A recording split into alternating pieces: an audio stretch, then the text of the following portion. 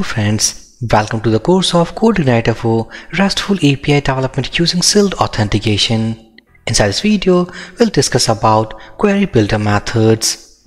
If I back to editor, inside last video, we have seen the concept of migration, that is, what is migration, why we create inside application and what is the use of that. Now this time, we'll understand the concept of query builder methods. So in short, query builder methods are those methods by the help of that we can perform database operations like insert data, select data, update data as well as delete data. So inside this video, we'll see all these concepts using query builder methods. So before starting the development process of query builder methods, let's go back to a slide, open a new tab so before using query builder methods, we always needs to create a table object. So the first step, step number one, that is we need to actually create an instance of database. So by using helper function called dbconnect, actually we can create a database object. In step number two, we need to create a table object. So to create table object, we'll use this table not actually table this db it means this is an object which has been created inside step number one and we will call table method. Inside this table method we need to pass the table name. For example if we want to perform database operations for this students table so we need to pass the table name here called students. So this line of code it means step number two is going to return a table object by the help of that object, we can call our CRUD methods like insert method, update method, select method, as well as delete method. Let's back to editor to see all these concepts in action. So I will go inside app folder, controllers, and let's say that I will open sites.php. So here to create table objects as well as database object, what I will do, I will go here and define our construct method. So public function double underscore construct and right here inside this method what I will do and before this method let's say private db one more variable that is private and let's say table now inside this construct method what I will do let's say this db equals to dbconnect which is a helper function which returns all about our database object. Now in the second line, let's create a table object. So this table equals to this db, it means database object and we'll call table method. Inside this, we'll pass the table name.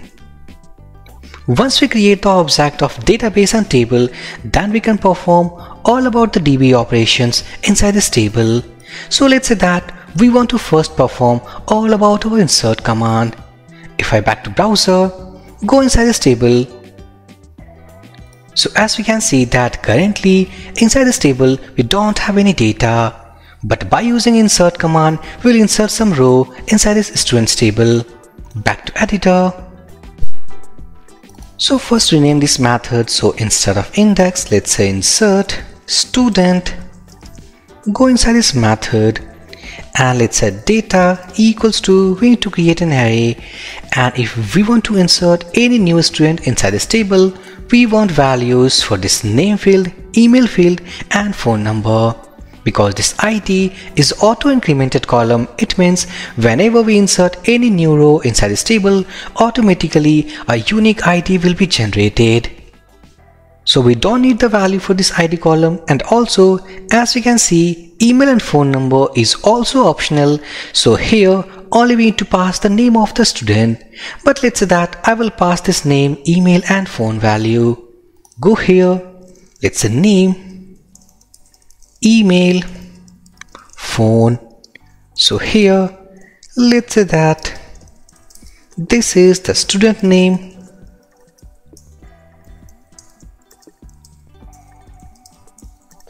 This is the email address value which is a dummy value.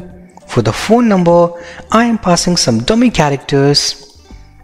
And now I will use this table object to interact with our students table. So this table we'll call insert method. Look at IntelliSense, we need to pass a set and this is a data set. So what I will do, I will pass this data variable here. So let's say data and it will return the true or false value. So I will wrap inside if block. It means if this line of code is going to return the true value, then if block will get executed. So here, let's echo within h3 tag. Let's say student created. Otherwise, inside this else block, I will copy this line code, put it here and let's say that failed to create student save this change now to call this method we need to create a route inside our routes.php file so I will go inside this config folder. Let's search for routes.php open that. Go here. Let's say routes. We'll use get method and here let's add hyphen student. It will call sites controller and from sites controller it will call insert student method. So scope resolution operator and this is the method name save the changes let's go to terminal start development server. So php spark serve press enter. It will start the inbuilt development server we can see here. So let's click open link. It will automatically redirect to the browser. And to insert our student we need to call the route called add student so I will copy this route name. Go here put a forward slash and add hyphen student press enter. We can see student created. Let's go back to database click on browse. Now as we can see that we are getting a single value row inside students table. So it means successfully we have executed our insert statement Next I will see all about update statement. So for update st statement, let's create one more method that is public function update student. Inside here, again we need to use this table object. By the help of that, we can call update method. So while updating any student inside table, we want two values. The first about student ID and the second updated values. So on the behalf of student ID, we will put updated data inside existing row. So here, let's say student ID equals to, let's say that I want to update this first number row or to be very clear, let's insert one more data here.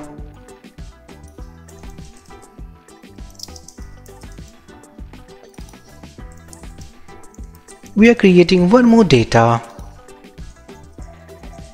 save this change. Go here. Let's reload. Student and here we have some error that is unexpected token. Go here. And actually this line is not complete so make comment of that. Go here reload this page. Student created. Go and reload.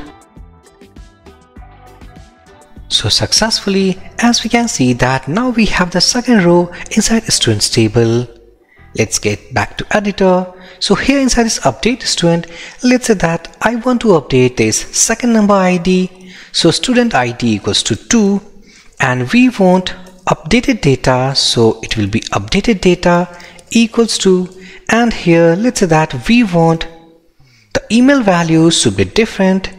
So in this case what I will do email equals to at the rate example.net so this will be the updated email value. And here let's call this table. And I will call update method. Look at IntelliSense it is asking for set of data first and then we to pass where condition.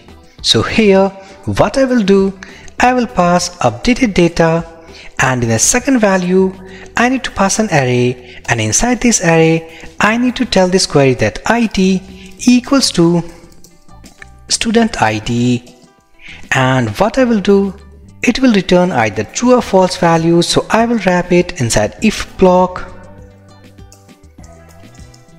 else block. So in case of success it will go inside this if block. So let's copy this message. Go here let's say student updated.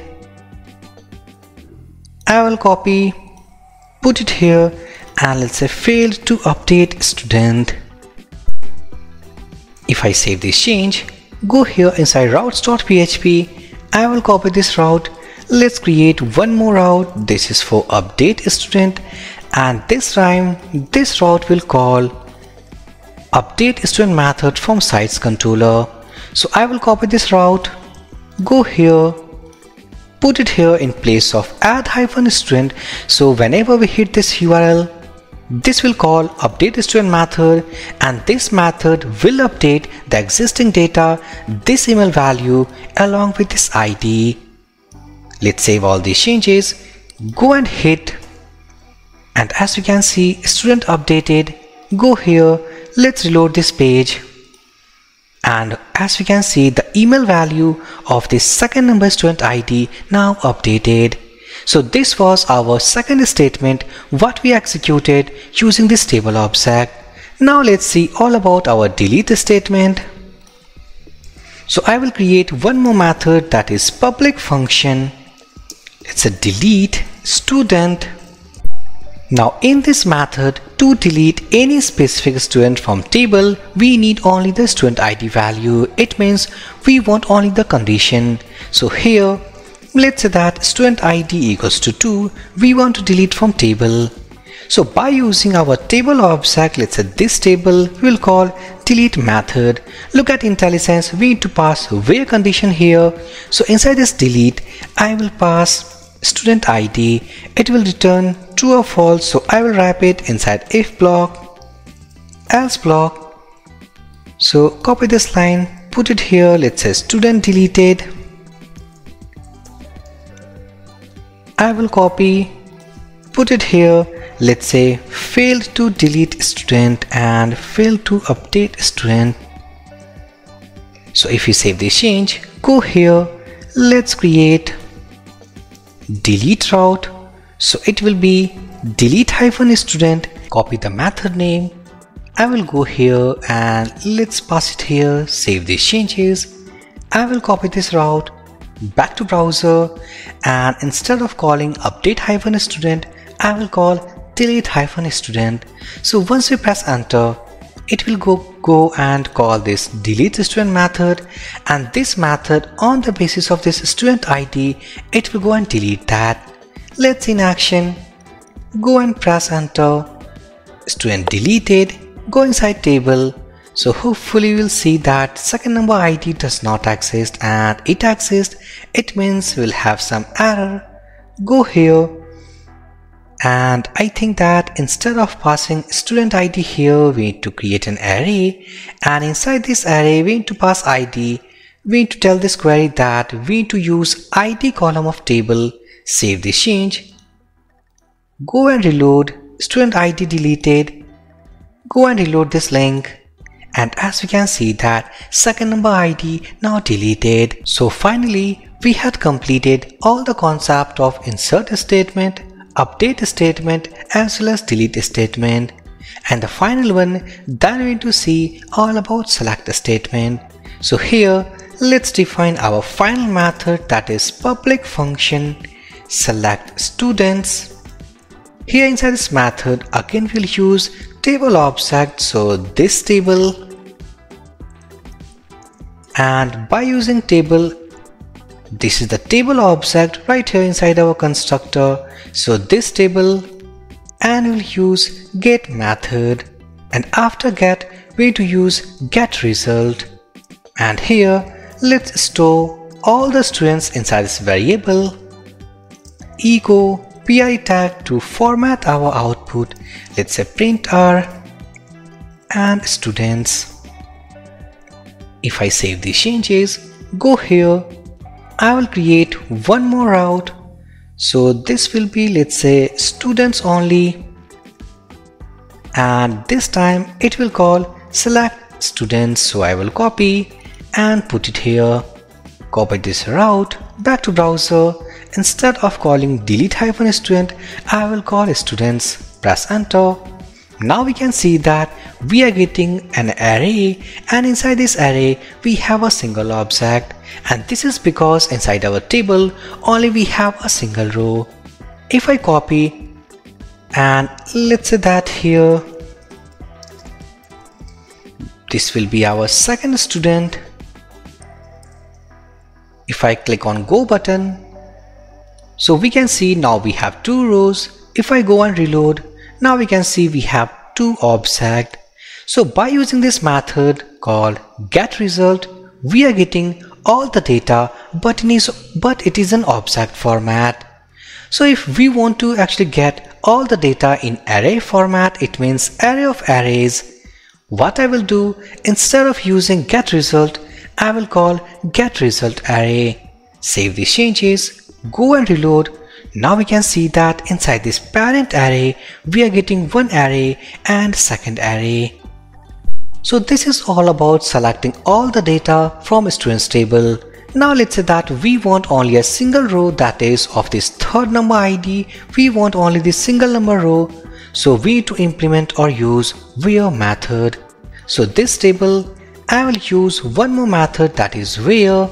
Create an array and inside this array let's id equals to 3 back to browser and if I go and reload that now we can see that we have a single row on the basis of this ID but it is not making any sense that if we have a single row so why we are getting in array format? So instead of using get result array what I will do instead of calling result I will say get row array. If we save this change go and reload. Now we can see that we are getting a single array value. So in case if we're returning a set of data, so in that case we have to use get result or get result array. But in case if we're getting only a single value, single scalar value, so in that case we should use get row or get row array. So successfully, by the help of this video, now we have the complete idea about query builder methods. We have created our table object and by the help of this object we had called insert method, update method, delete method as well as select methods.